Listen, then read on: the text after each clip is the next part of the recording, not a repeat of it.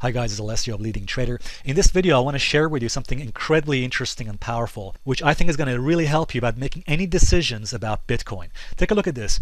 On Google Trends, and again, this is a free software provided by Google, and it's called Google Trends.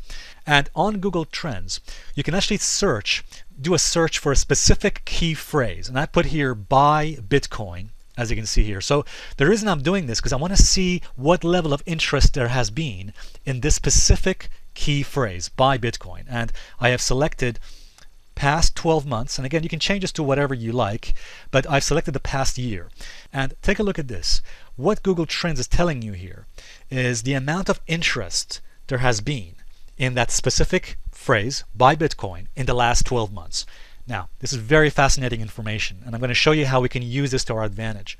It's saying to us that suddenly, in the spring of this year, there was suddenly a massive amount of interest in that specific key phrase. Notice that just before April, the amount of interest there was in that phrase, buy Bitcoin, certainly wasn't the amount that it was now. Uh, and again, there was a surge of interest just after April of this year, and that surge has gone up, gone down, gone up, gone down, as you can see here, and then suddenly it's gone up again. Now I want to show you something interesting here. Take a look at this first peak that you see here, the first time that this interest in that phrase buy Bitcoin peaked, which was actually towards end of May, as you can see right there. Okay, now take a look at what happened to Bitcoin prices right about that time. And what you will see is right there towards end of May, that was the peak right there in Bitcoin. As it, and you can see it's not surprising why suddenly the interest in Bitcoin suddenly peaked about that time because Bitcoin prices suddenly started surging, surging higher. That just basically meant that folks were paying attention to the news, paying attention to what their friends on Facebook were saying, and suddenly everyone started typing in and searching for buy Bitcoin. And this is essentially a fantastic contrarian indicator. Look at this. So as Bitcoin peaked about here, what happened was it took so it took a little bit of selling and then one final push higher. By the way, in statistics, this is often called the last gasp stage. Just one final push higher before suddenly a major, much more serious correction that you see here in Bitcoin prices. So, in other words, very soon after the huge amount of interest in that phrase buy Bitcoin, which occurred at the end of May, there was also a drop in the price of Bitcoin as well. Take a look at this one. Now, what about this peak that occurred here in August? Now, this was in the middle of August, as you can see here this year. And let's take a look at that. Let's go over here and take a look at this. Now, this is interesting. So let me just, uh, before I show you what happened next, it's interesting just paying attention. So this is where, about that time when there was a peak in the Google Trends search interest for that phrase buy Bitcoin, you can see that that's again not surprising because prices surged higher. People became interested in Bitcoin again. Now notice had a bit of a profit taking here, but then that last gasp stage took took over, the final push. And take a look, you'll see again quite a much more pronounced drop which occurred in September before finally going up again.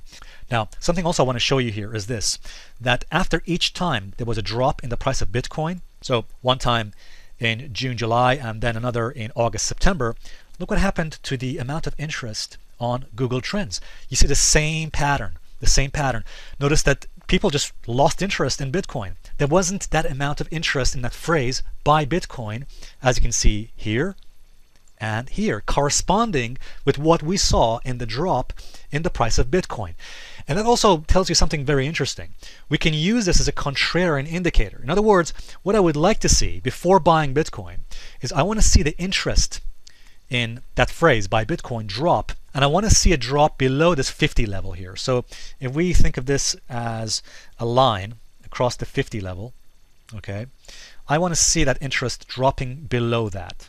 All right and then we can look at potential buying opportunities on Bitcoin. All right. Now, just to let you know that just because this level right now is at 100 does not mean that suddenly it's reached its peak. Uh, or that we should be looking at shorting Bitcoin. No, absolutely not. First of all, we never want to stand in front of momentum. Uh, we don't want to stand in front of the freight train. But certainly, when the level of interest here falls back again below 50, then yes, we can use as a contrarian indicator to look for potential buying opportunities on Bitcoin. So as you can see, the level of interest in that phrase, buy Bitcoin right now, certainly is at an extreme high. It does not mean Bitcoin prices can't go higher, but it does mean we should be very cautious. By the way, I want to show you something else that's quite interesting here as well. If I if I just change this from the last 12 months to the last five years, you will see something also interesting. And you'll see that there was a peak back in 2013 for this phrase, buy Bitcoin, right about there. You see that?